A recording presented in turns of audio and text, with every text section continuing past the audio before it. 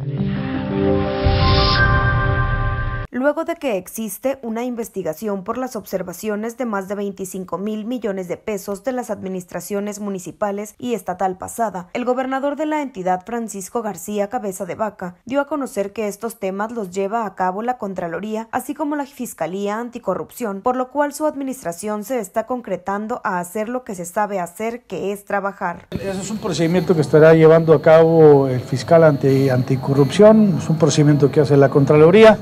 Nosotros estamos enfocados hoy en día en este nuevo año, que aprovecho para desearles lo mejor a todos y cada uno de ustedes, que este año esté lleno de prosperidad, de bienestar, eh, paz, de mucha salud, sobre todo para ustedes y sus familias.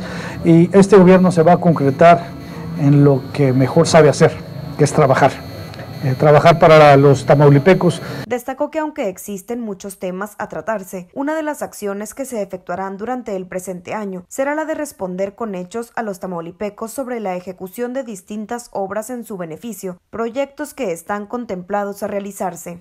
Eh, vienen proyectos sumamente eh, importantes, obras de infraestructura, inversiones en el tema eh, energético, por supuesto fortalecer el rubro de salud y, y, educación y eso es lo que nos queremos concentrar. Yo creo que y estoy convencido que eso es lo que están esperando los tamaulipecos. Para Notivisa Tamaulipas desde Ciudad Victoria, Carla Mendiola.